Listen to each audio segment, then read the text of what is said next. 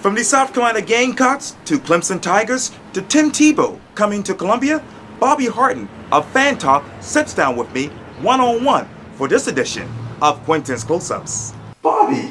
How you doing? Good, yourself? Yeah, I'm doing fine. And it's been a while. I was just thinking about that because it was like three years since I've interviewed you for Quintin's Close-Ups. Yeah, man, I'm still here. Yeah. Well, catch me up. Tell me what's going on with you.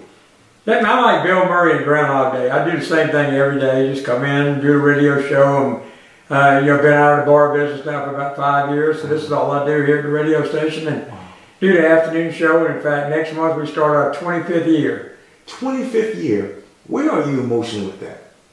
I'm okay. It's fun. As long I've always said, as long as it's fun, I'll do it. And I have fun getting ready for it. And I have fun doing the show. And then, you know, when I see people, everybody, I have to do like everywhere I go, answer questions about sports and stuff like that. So it's fun. It's fun. It's a lot of fun. Speaking of sports, let me take you to Columbia. Obviously, it's a new Southern hotspot, but now it's new the new Southern sports spot. As you know, T- Tim Tebow's coming to Columbia Right. uh, later this spring. When you think of that, what sticks out to you? Of Tim, Tim Tebow? Yes, sir. I just hope, I hope it's, they're serious. I hope it's a serious thing. I hope it's not a gimmick to sell tickets. And I don't think it is. I don't think anybody would do that because uh, that's what not, that's not what minor league baseball is all about. I wish him the best of luck. I know he has a lot of supporters and he has a lot of haters, but you know, I, why he's doing it, you can question all day long. I just hope he's sincere about it. And really, I wish him the best of luck. Speaking of baseball, let me take you over to Mount Pleasant. The Cougars set to host number six Clemson in front of a sellout crowd.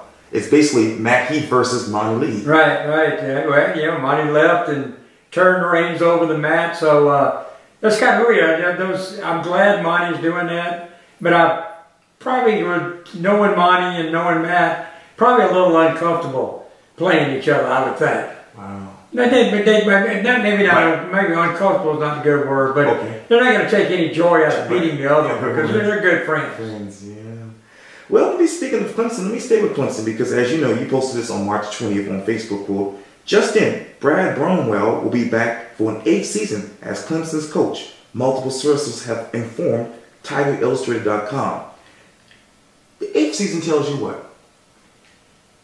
Well, the statement from Clemson came down. It, it, it, he's got to get something done. He's got to get to the NCAA tournament next year. Dan Radakovich, the athletic director, did a similar thing with Jack Leggett a couple of years ago. Kind of gets, told Jack Leggett, "You got to do these. You got certain things you have to do, or he's going to have to make a change." And I think it's kind of what they they told Brad Brownell as well. Mm. Let me go down the road back to Columbia.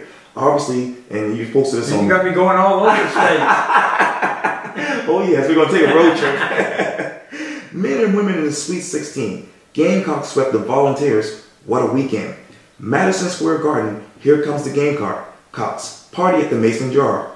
Write the headline for me. What do you expect from Madison, Square Garden with the men and from California with the women?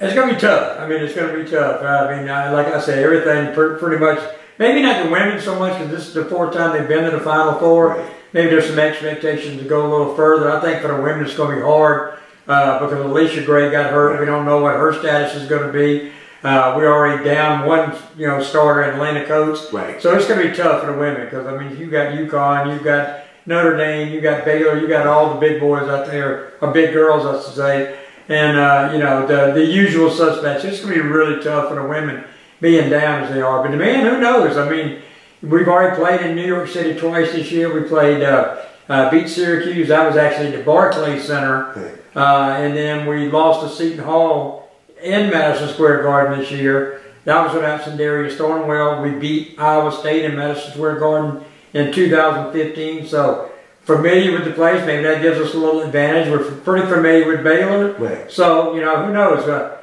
and if we have to go on, if it is Florida, we've already played them twice. We beat them in Columbia, mm-hmm. lost to them in Gainesville. So I'm excited. I, I never, I never expected them to beat Duke. That, that you know, just a unbelievable weekend between with the women winning, the men winning, and the baseball team winning. What You tell don't get many, you don't get any weekends like that be a Gamecock fan. I know, right? Because I I was thinking, what is it like to see all of this? I mean, what is it like to be a Gamecock right now in your mind? It was pretty fun this week. I mean, I think when it all comes to an end, you know, it'll it'll be fun. Of course, we got a lot more baseball to be played. Sure. uh, that was just our first conference series, so we still got all the, you know, the Floridas and the Georgias and the, we got Alabama this weekend, so we're a long way to play in baseball. Uh, a lot of expectations to Chad Holbrook Oh, yes. coming in after, you know, uh, after uh, Ray Tanner, but, uh, you know, the men, everything from here is the gravy, is gravy for me. Mm. If they and lose for, you know, Friday night, I'm fine. They, they had a great season and they beat one of the blue bloods in basketball in Duke. So Mm-hmm. sent, sent, sent Duke home, did everybody a favor. All the Duke haters, sent them all, you know, sent them home. I'm not a Duke hater either. Right, I always right, liked, I always liked Duke, but, uh, but anyway, it was a, it was cool to be a school with that kind of history, you know, so it was fun.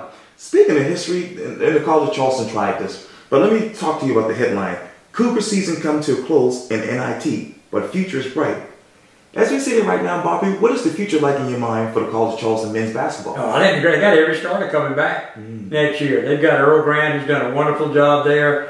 Uh, I think they probably probably will be the favorite. Uh, UNC Wilmington just lost their head coach. Right. Uh, they've had some guys graduate. I mean, the Cougars had everybody coming back. So, so uh, you know, I wouldn't surprise me if they don't win and win the, the Colonial Athletic Association next year, and then you know go to the NCAA tournament. Cool. I think that would be the expectation for the Cougars. Mm, that would be exciting too. Yeah, absolutely. Yeah.